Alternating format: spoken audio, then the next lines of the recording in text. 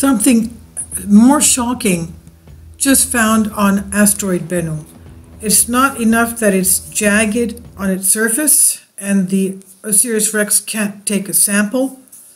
And uh, also, we've been told by NASA that it has the Yarkovsky effect, making it tumble on its axis and it's not steady on its trajectory.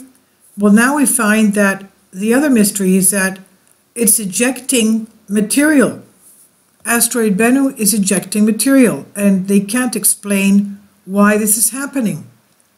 OSIRIS REx, the NASA spacecraft, which is to analyze asteroid Bennu and they're supposed to take a sample and bring it back because then they want to mitigate it, move it out of its trajectory, because around 2138 it uh, could be um, in danger of impacting our Earth or coming too close to our Earth. It will be coming into the inner solar system. And Bennu has made a remarkable uh, event. It's, uh, they've discovered that uh, this base rock is behaving abnormally in that it's blasting out unexplained plumes of dust and material. The never before seen phenomenon was noticed January and has since been documented at least 11 times.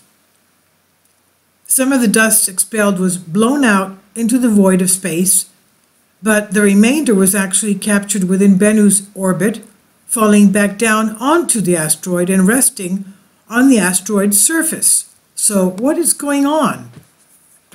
So, NASA, uh, NASA's OSIRIS REx tweets that uh, my team, he said, they say, is also using navigation tools to help track and study the material Bennu is ejecting from its surface. This composite image from NavCam 1 shows traje trajectories of particles released January 19 we're talking about January 19 of last year. A green arrow showing, and the background stars are in yellow diamonds. And curiously, at least four larger chunks of debris have remained in orbit around Bennu, potentially forming micromoons of Bennu. Currently, the eruptions pose more questions than the OSIRIS REx team have answers.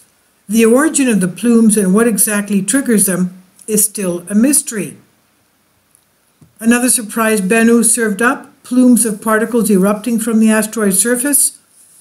The NavCam 1 imager captured the first ever close up observations of materials being released and erupting from this active asteroid.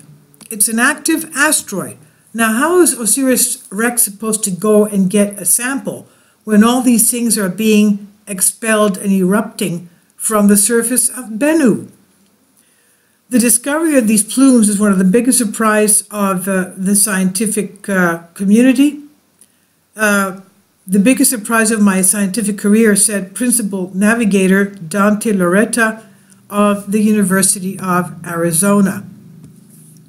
The OSIRIS REx probe arrived in Bennu orbit December 2018. It was to study the rock for additional information about the origins of the universe. Okay, that's all nice. Of course, we have the study of the universe, but uh, the fact is that they have to learn, get a sample, bring it back, study it, and find out how to push this asteroid away from the Earth, change its trajectory. That's the uh, important thing to do. So, uh, is uh, they say it's due to collect a rock sample. OSIRIS REx will collect a rock sample using its extendable arm, but the sampling is proving more difficult than anticipated due to the amount of large boulders on the surface. As we said, it's jagged and they can't get, it's easy to get a sample. NASA OSIRIS REx tweets, a smaller sample site footprint will require my descent this is as if uh, NASA or OSIRIS REx is talking to us, will require my descent to Bennu's surface during the touch and go sampling maneuver, TAG for short, to be more accurate than originally planned. My team is developing an updated approach called Bullseye TAG to target smaller sample sites. And they, uh, they go on to tweet to safely collect a sample. My original mission design called for a hazard-free area with an 82-foot radius. With so many boulders on Bennu, though, I'll need to target a much smaller area, about the size of the loose material pond in the upper left of this image. And there's an image here. Um, so, uh, hopefully they'll get the sample, and I'm sure that when they do get the sample, they will all let us know. In the meantime, hopefully it'll also be clear of all these eruptions and um, um, uh, the plumes of dust that are exploding off uh, asteroid Bennu. Now, uh, they're planning on mitigating this. How are they going to do that when they have things exploding out towards space? And what is causing all this? Uh, this is very strange, very strange. Anyway, I'll leave links below for you for this. This is from uh, RT. And um, tell me what you think. If you know what could be causing this, please let us know. Thank you.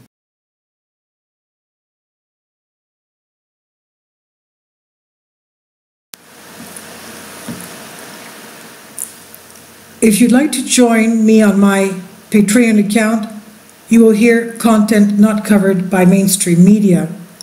These riveting stories will be based on my research, and I will state my opinions and give my personal insight on diverse and controversial subjects and world events, events not covered by mainstream media, and not certainly on not supported by YouTube guidelines.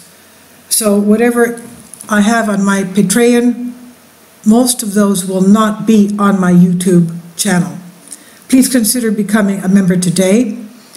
More of the, the most significant and important videos will be on my Patreon channel. Your support helps me to continue my research and keeps this YouTube channel alive.